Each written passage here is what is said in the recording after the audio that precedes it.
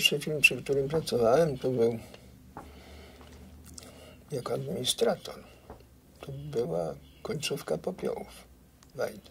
Sześć filmów jako administrator, sześć filmów jako asystent kierownika produkcji, sześć filmów jako starszy asystent, teraz to się nazywa drugi kierownik produkcji. No i potem już sto jakieś pięć, sześć jako kierownik produkcji. Na przestrzeni od 65 roku do dzisiaj. W drodze do szkoły przechodziłem obok ekipy filmowej, a film mm, był filmem debiutującego wówczas reżysera Andrzeja Wajdy i nosił tytuł Pokolenie. I przechodząc rano do, do szkoły, obok tej ekipy, widziałem taką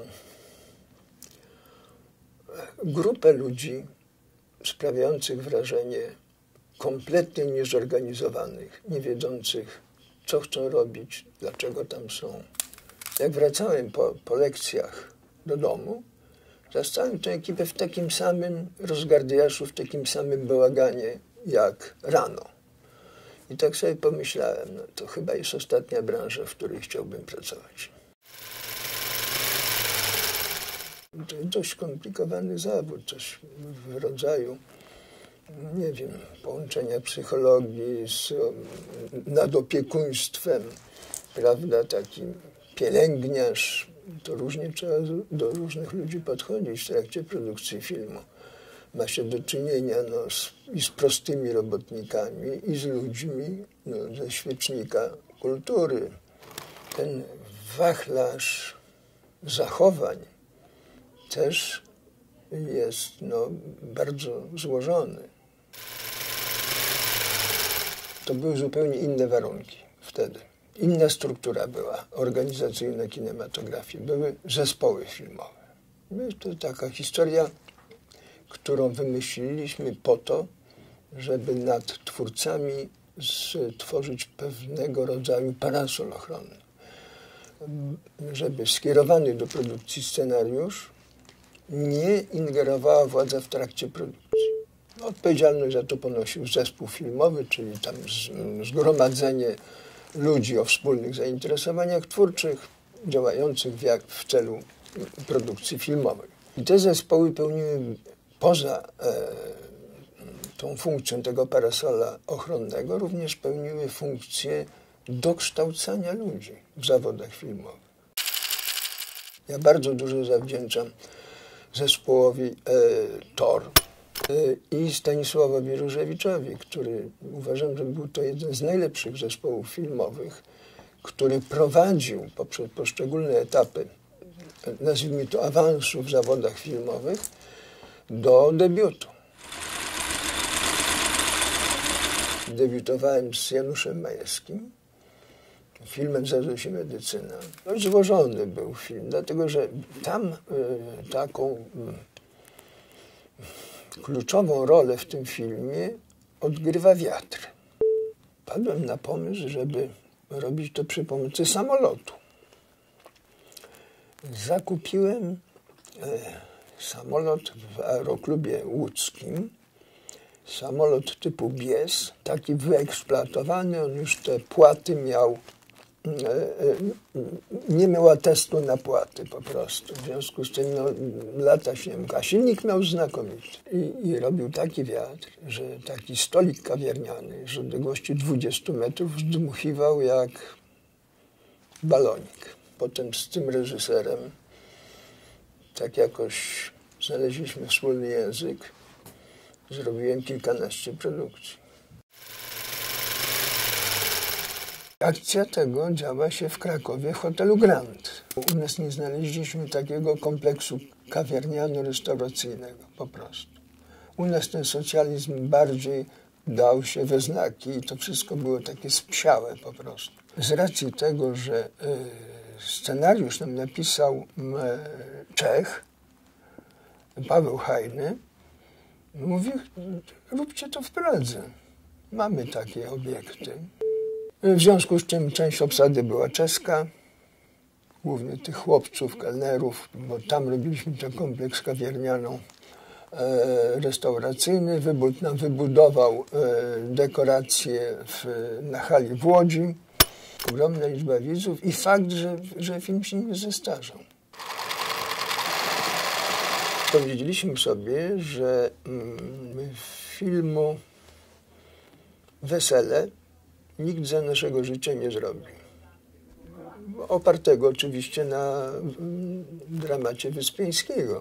W związku z tym musimy dołożyć wszelkich starań, żeby zrobić to jak najwierniej mm, do epoki, w której to się działo. Udało się e, zakupić autentyczne kostiumy, rekwizyty, pozornie niewykonalne było robienie zdjęć w autentycznej rydlówce yy,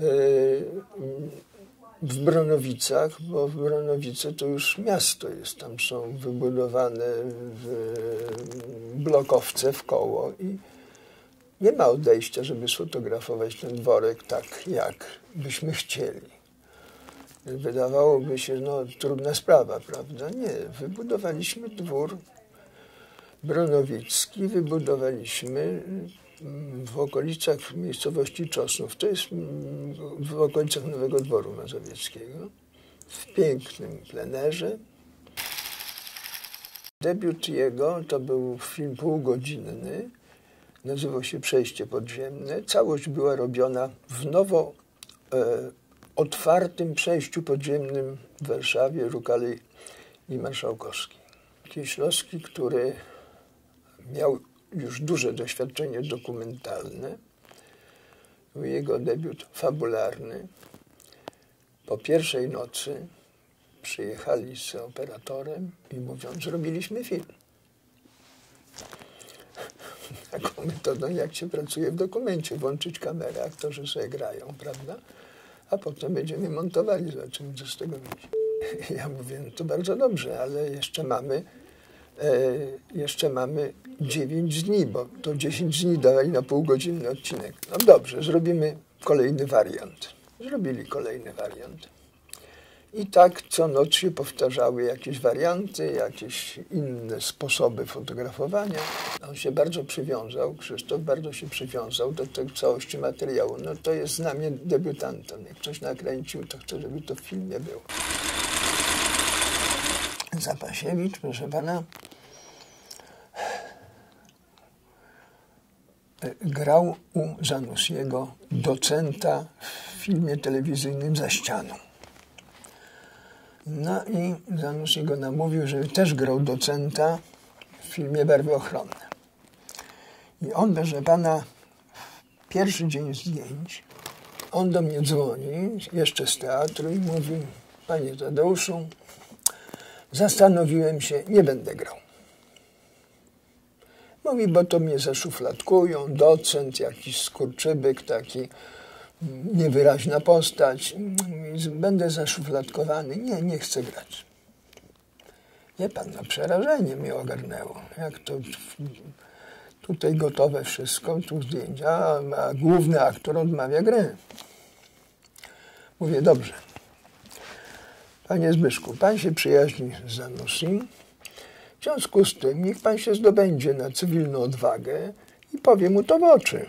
Wsiądzie pan w taksówkę, pojedzie pan do Rosalina, powie pan, Krzysiu, przepraszam cię bardzo, nie gram u ciebie w filmie, takie a takie powody, no sorry. No dobrze, to ja to zrobię. Ja szybciutko w samochód do Rosalina. Mówię, chłopcy, rozstawiajcie światło. Wszystkie lampy, jakie są, obojętne czy potrzebne, czy niepotrzebne. Jak zajedzie Zapasiewicz, ustawcie jazdę, żeby było pełne wrażenie gotowego planu zdjęciowego. Zwierzę aktorskie, jakim był przecież Zapasiewicz, no na pewno ten haczyk połknie. Tak się stało. Jak E, przyjechał na plan, Zanuszy. O, dzień dobry, Zbyszku, wstawaj, już wszystko gotowe jest. No mu już nie wypadało odmówić. Zrobiliśmy film w tamtych czasach to w ogóle był ewenement. 21 dni zdjęciowych. A robiło się po 40 dni. To był rekord świata. Przy realizacji długu Krause narzekał, że ja tak żelazną ręką to trzymam, ale po latach powiedział, że może to dzięki temu pod jednak taką i presją czasową i, i, i no, wymaganiami moimi, może, może dlatego to wpłynęło również, że on był maksymalnie skoncentrowany i powstał znakomity film. Grupa zdjęciowa to była jak rodzina. Wszyscy wszystkim pomagali, nie było żadnych gadań, godziny nadliczbowe, honoraria i tak. Zarabialiśmy jakieś pieniądze, tych pieniędzy tak naprawdę nie było gdzie wydać. No, można było coś kupić luksusowego w Peweksie. Te grupy były bardzo zintegrowane. Tak się dobierały, że wiele filmów robiło się w takim samym składzie personalnym, oświetlaczy, dyżurnych, dźwiękowców, wózkarzy. E, czyli całego tego stafu e, technicznego i realizatorskiego. Teraz te ekipy tam wyciągnąć jak największe pieniądze, w sensie stawkę wynegocjować, odrobić swoje, pieniądze do kieszeni i do domu. Trudniej jest dobrać taki zżyty zespół ludzi. Ja myślę, że to jest integralna część sukcesu artystycznego. Zależy również od kierownika produkcji.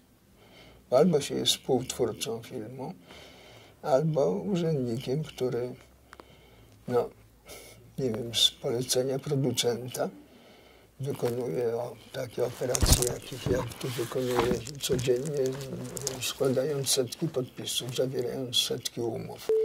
To też jest część naszej pracy, ale bez takiego wyraźnego udziału, współudziału w, w tworzeniu filmu, to sobie nie wyobrażam tej pracy. Dlatego tyle lat pracuję, że po prostu mnie to wciągnęło i interesuje mnie.